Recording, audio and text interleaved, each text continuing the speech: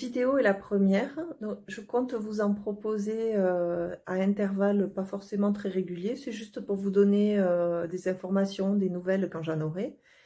Euh, et le format, ce sera à peu près 4-5 minutes.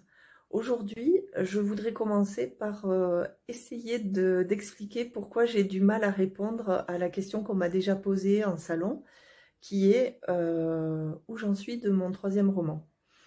Euh, la réponse la plus honnête que je peux vous donner, c'est je n'en ai aucune idée.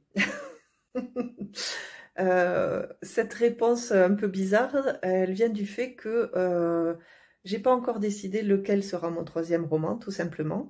j'ai plusieurs projets en cours. j'ai souvent d'ailleurs plusieurs manuscrits commencés en parallèle.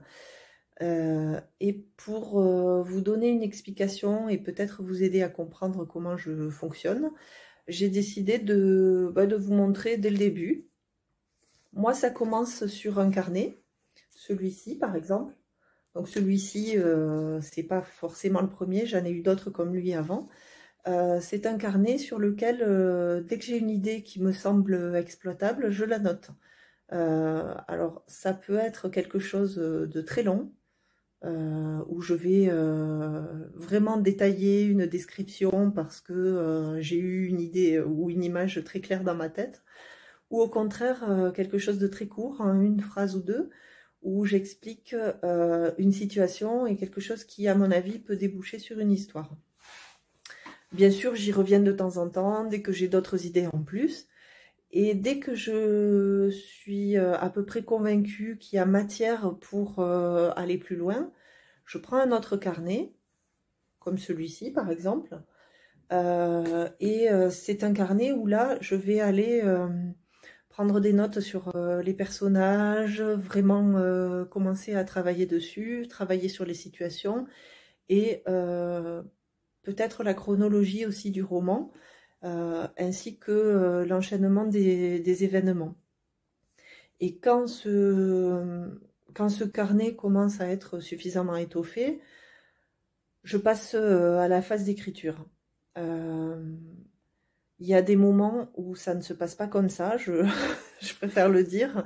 Il y a eu par exemple pour mon deuxième roman, Les filles de Courtman House, comme c'est quelque chose que j'avais envie d'écrire depuis très longtemps il me manquait un petit élément euh, et que j'ai trouvé quelques jours avant le confinement. Donc, euh, je l'ai commencé le 12 mars 2020 et je l'ai terminé deux mois après. Donc, lui, on peut dire qu'il s'est vraiment imposé à moi et que euh, à ce moment-là, c'était évident pour moi que j'allais le terminer et que ce serait lui mon deuxième roman.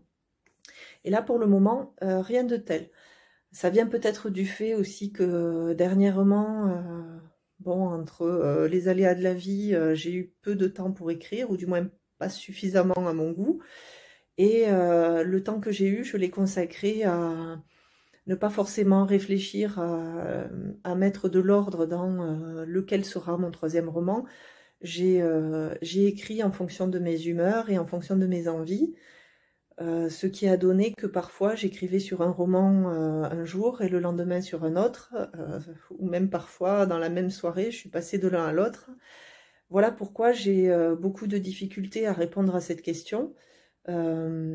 après, bien entendu, dès que ça se clarifiera dans ma tête, vous en saurez plus, il n'y a pas de problème. mais pour le moment, ça reste assez confus. Donc si jamais par ici euh, passent euh, des auteurs, n'hésitez pas à me dire que euh, vous aussi vous avez du mal à décider parce que j'avoue que c'est une situation un petit peu étrange parce que j'ai l'impression même si mes, mes projets avancent, j'ai l'impression d'avancer vraiment dans le brouillard et de pas trop savoir où je vais.